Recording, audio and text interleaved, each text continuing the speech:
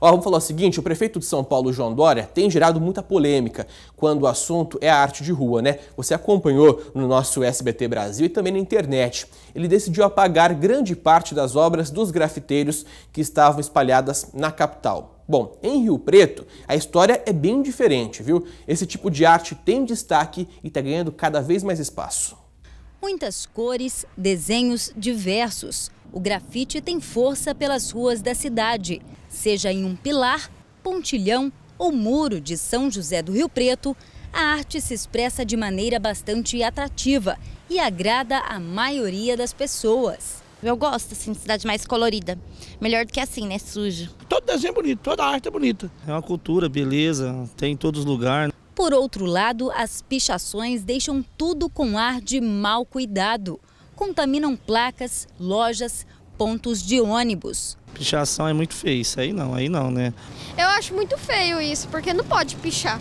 Em São Paulo, para melhorar de vez a aparência da cidade, o prefeito João Dória mandou apagar tudo. Arte ou pichação foram tratados da mesma maneira.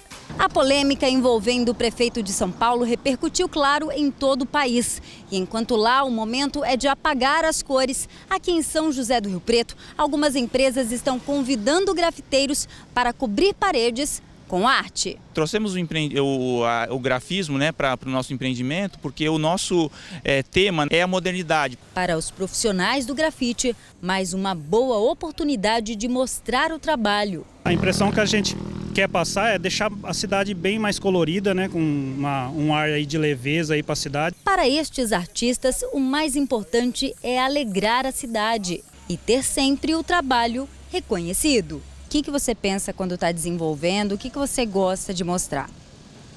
As cores, que eu acho que é que a gente precisa de mais cor, na verdade. Então eu gosto de o meu trabalho é muito colorido.